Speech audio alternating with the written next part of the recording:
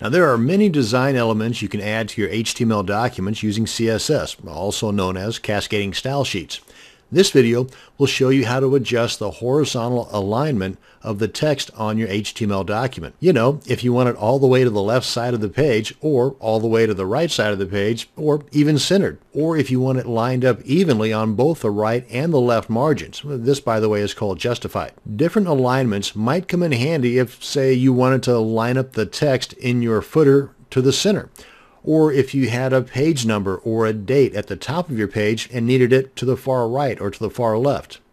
Here, let's open up our editor and look at an example. Now, I've got some content here in the body section, and up here in the head section, I've already added some styling, one for the H1 tag that's going to align the text between the opening and closing H1 tags in the center of the page. And for the H2 tags, I've got it set up to align to the right for all the content that's located between the opening and closing H2 tag. And for the paragraphs, I've got a couple of them here, but I've only got one of them that's using the class justified as defined up here, which will be, you guessed it, align justified. And these are set up using the basic CSS syntax, where I've got the opening curly bracket, the property, in this example it's text dash align, and then the colon, and then the value, in this example, center, then I've got the semicolon and then the closing curly brackets. And pretty much the same with the others here. Now with classes and IDs, you can name them anything you want really. I just named this one justified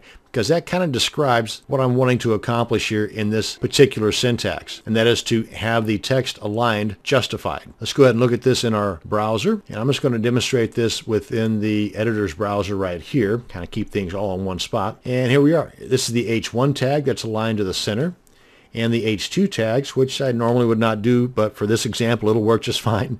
But the H2 tags are lined up to the right, and the second paragraph is aligned justified. Now, it's not a great example, but as you can see here, the first paragraph that's not styled at all, the margins are even on the left. And that's pretty much the default. And then the space between the words and text is even throughout, which is going to leave some of the space over here to the right. Now, if this were aligned to the right, then it would be even, then the margins would be even over here on the right, and these gaps here would show up over here.